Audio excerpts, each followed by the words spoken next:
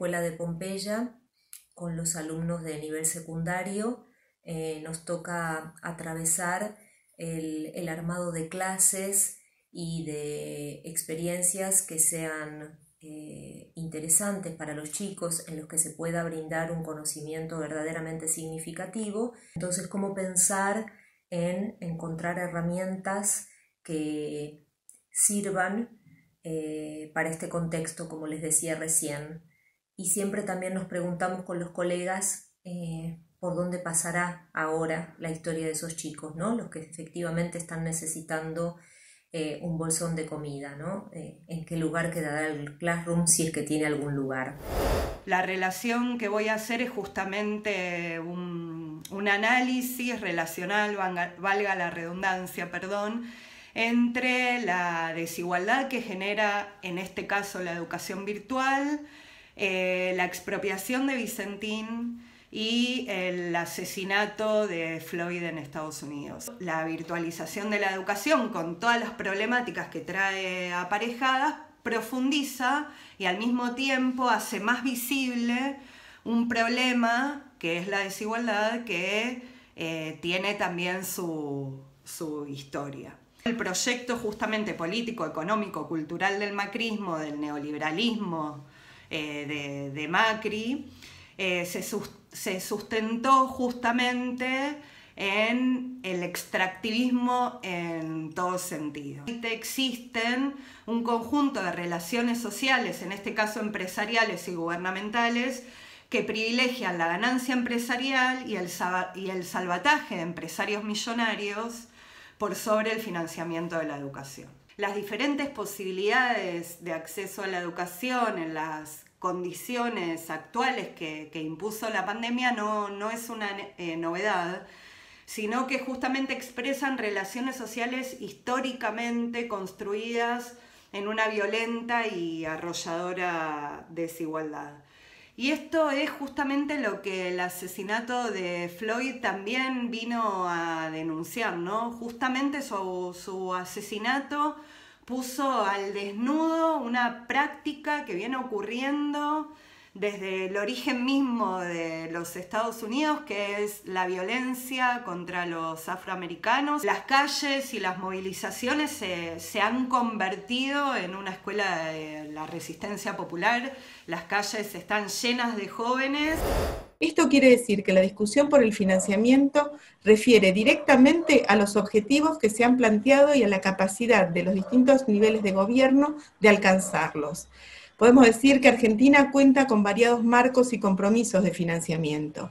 La ley de financiamiento educativo fue un hito, de un horizonte al financiamiento y al incremento de la inversión en educación, estableciendo ese número mítico del 6%. El proceso de ampliación de la obligatoriedad y la tendencia a la disminución real del presupuesto al sector produce un descalce entre las necesidades del sistema y las posibilidades de abordarlas con suficiencia. Podemos decir que los caminos y senderos del financiamiento en un país federal como el nuestro son múltiples y muy complejos. Por lo tanto, de acuerdo a los testimonios que, relevamos de los actores claves, esto da cuenta de que las disparidades regionales eh, cada vez son mayor en términos de financiamiento educativo. Sin duda, teniendo en cuenta la situación actual de la pandemia, es imprescindible analizar el impacto del COVID sobre el financiamiento de la educación y los criterios a nivel federal y jurisdiccional para el retorno a la presencialidad.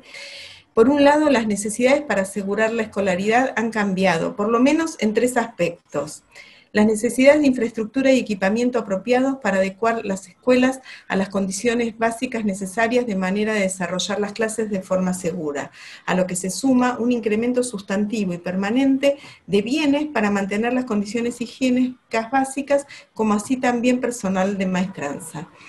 La infraestructura tecnológica en la escuela, ya sea computadoras, pero sobre todo conectividad, pero también equipamiento y conectividad para docentes y estudiantes. Las investigaciones confirman supuestos previos y es que el aislamiento profundiza la segmentación educativa, dado que se restringe o dificulta el acceso a la educación de los sectores más vulnerables. Por tercer parte la, necesidad de redefinir las condiciones de trabajo docente. Si un docente debe trabajar con grupos pequeños, no es viable que lo pueda hacer con varios grupos en forma simultánea y paralela. Por otro lado, hemos aprendido mucho en la pandemia en la construcción de nuevas estrategias pedagógicas. Eso es algo que se debe capitalizar, pero también exigen inversiones para sistematizar, difundir, capacitar y desplegar en todas las regiones del país. Eh, nosotros en este proyecto eh, buscamos mirar eh, lo educativo y su potencia descolonizadora en los movimientos populares y en las organizaciones populares, pero particularmente en los ámbitos de trabajo. Y además buscamos construir saber con los sujetos, con las organizaciones de manera colaborativa, ver por dónde pasa hoy la construcción de saber, la formación en las organizaciones y en el trabajo. Eh, hay un corrimiento muy fuerte a un trabajo que no siempre fue considerado trabajo, eh, pero el trabajo que para paliar, digamos, el, el hambre que se iba produciendo, se fue desarrollando en el ámbito de los comedores y los merenderos que crecieron exponencialmente. Al mismo tiempo, la política social del macrismo fue desalentando el trabajo cooperativo y colectivo y fue más bien alentando eh, proyectos que tuviesen que ver con lo individual, con lo no vinculado al trabajo, con lo vinculado a eh, lo formativo. Entonces, si tenemos en cuenta esto, digamos, el crecimiento de estos espacios de cuidado, cómo estos espacios de cuidado son colectivos y comunitarios y cómo están absolutamente feminizados, empezamos a mirar allí a ver, bueno, ¿qué es lo que se está pensando? ¿Qué es lo que habría que pensar? ¿Qué es lo que nos podrían enseñar? ¿Qué es lo que ellos están aprendiendo? Y esta es de alguna manera nuestra, nuestra preocupación hoy en relación con, la investigación. Cómo en este pasaje de la, producción de bienes a la economía del cuidado, en el momento de la pandemia, empiezan a aparecer algunas claves para pensar en saberes, en aprendizajes, que parte de esto, parte de todo esto son las enseñanzas y los desafíos de un contexto para las organizaciones sociales, para los procesos de formación política y sobre todo para muchas de ellas que se ocupan de la educación popular o muchos de nuestros espacios militantes de las propias universidades que también trabajan con ellos en espacios de formación y en espacios de educación popular. Hola a todos y todas quienes están interesados en seguir los trabajos del Instituto de Investigaciones en Ciencias de la Educación en este particular momento que nos ha tocado vivir. Agradezco desde ya a los titulares y las titulares de este proyecto que me hayan invitado a participar, ya que fue una experiencia muy interesante leer los cuatro trabajos que se me encomendaron para comentar hoy. Y, realmente es, es, interesante porque esto le permite a uno trabajar simultáneamente sobre dos universos. Eh, por un lado, el universo de la coyuntura, la pandemia global. Por otro lado, el universo proyectado, eh, imaginado de lo que va a venir, es decir, de la pospandemia y de nuestro papel en ella. cuando eh, primero vi los cuatro trabajos que me enviaron, pensé que eran realmente heterogéneos y que iba a ser un trabajo complejo eh, poder armar un todo con ellos, pero en cuanto escuché a los y las investigadores eh, y me adentré eh, en la lógica expuesta por ellos y ellas acerca de este trabajo, me di cuenta que en realidad, a pesar de su heterogeneidad, conformaban un todo armónico, o vamos a decirlo de otra forma, su heterogeneidad es una heterogeneidad necesaria. En este momento necesitamos efectivamente de una variedad de enfoques eh, teóricos, eh, teórico-conceptuales, de enfoques metodológicos, de enfoque acerca de las poblaciones sujetas de dicho análisis. ¿Por qué? Bueno, porque si no tenemos esta heterogeneidad no podemos abarcar la complejidad del momento que nos toca vivir y agregaría la complejidad de los momentos que nos va a tocar vivir en la pospandemia. Eh, de manera que este eje es en realidad, a pesar de su aparente diferencia entre los cuatro proyectos, una especie de modelo, de muestra de todo lo que va a ser necesario para comprender, una vez que estemos más tranquilos y tranquilas, eh, lo, que, lo que estado ocurriendo a nivel socioeducativo. Eh, voy directamente al hablar de, los proyectos. Eh, ¿Qué fue lo que me interesó en particular de cada uno de los proyectos?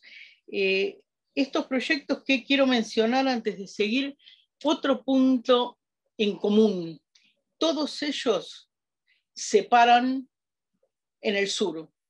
Eh, por decirlo de una manera más técnica o más académica, todos ellos ostentan la mirada pedagógica en y desde el sur. Son proyectos situados, sin ninguna duda. Eh, y esto, francamente, me llena de, orgullo como investigadora que fui, que soy de este instituto. de cada uno, voy a mencionar eh, poquitas palabras de cada proyecto. De Cecilia me interesa destacar sus experiencias en el sistema educativo, en las márgenes. De Cintia me interesa destacar las reflexiones que ella establece con las manifestaciones del colonialismo interno de la sociedad estadounidense bajo la forma de esta discriminación exacerbada hacia la comunidad afroamericana que hemos visto y la relación que establece con las desigualdades estructurales que esta pandemia ha agudizado. Eh, de Marisa y Alberto eh, quiero, me interesa el esfuerzo realizado y se los agradezco realmente para armar y hacer disponibles estas series estadísticas que van a evidenciar otra forma de discriminación cristalizada, que son las desigualdades interjurisdiccionales, así como las proyecciones que ellos realizan que mostrarían que los caminos para salir de esta crisis eh, van a ser probablemente muy diferentes y van a tener éxito en momentos muy diferentes también, según la jurisdicción de que se trate. De Anaí, bueno, quiero eh, decir que me impresionó mucho el reconocimiento desde adentro de la vulnerabilidad de las personas en el seno de los movimientos sociales. Esto podría, no, podría parecer que no es original, ¿no? Todos sabemos, eh, hablamos todo el tiempo de la vulnerabilidad. Y sin embargo, sí es original, porque de esa vulnerabilidad nace precisamente su fuerza. Y esto es lo que quiero destacar. Esta visión eh, compleja de esta vulnerabilidad, donde la fuerza es su producto. En términos quizá más académicos, me interesó mucho su categoría de economía de los cuidados, es decir, las mujeres a cargo de comedores, merenderos, etcétera, no como una extensión de su tarea eh, femenina, eh, no como una extensión de su tarea maternal, sino como trabajadoras de ese importante aspecto de la vida, que también tienen incidencia en la formación política de niños y de jóvenes. De todos estos elementos que mencioné, apareció con fuerza, cuando lo repensé, eh, la posibilidad de un nuevo sujeto epistémico, y no solamente el sujeto en las comunidades, en las comunidades discriminadas, en las comunidades vulnerabilizadas, en las comunidades eh, olvidadas de algunas jurisdicciones del interior del país, sino también este sujeto que puede salir fortalecido de este proceso, así como nosotros, los sujetos investigadores universitarios, eh, que tenemos que repensar nuestras categorías. Claramente esta crisis no es la primera, eh, pero sí tiene características muy específicas. ¿no? Eh, pensaba a este respecto en que estamos alrededor de 40 años de la pedagogía de la oposición, de las pedagogías de la resistencia. Y eh, quería retomar algo que después de la crisis del 2001 escribíamos, aunque debo confesar que nunca lo, profundizamos, eh, y quizá sea tiempo de volver a pensar en ello ahora, que es intentar pensar una pedagogía de la lucha. Eh, una pedagogía de la lucha que nos involucre a todos, investigadores universitarios, poblaciones en las márgenes eh, de la sociedad, pedagogía de la lucha que produzca conocimiento que coadyuve al empoderamiento de estos mismos colectivos con los que estamos colaborando y así acompañarlos y al mismo tiempo acompañarnos a nosotros en la reconstrucción de sujetos y sujetas de transformación y de cambio. Eh, provisoriamente digo, esta pedagogía de la lucha eh, intentaría discutir y actuar en cómo superar las desigualdades y todo tipo de discriminación que se ha visto exacerbada con esta pandemia. Este combate, evidentemente, tiene que tener una mirada nuestra americana. Ese es entonces el pequeñísimo aporte que puedo realizar a estos cuatro interesantísimos trabajos. De nuevo, gracias por la posibilidad de participar. Adiós.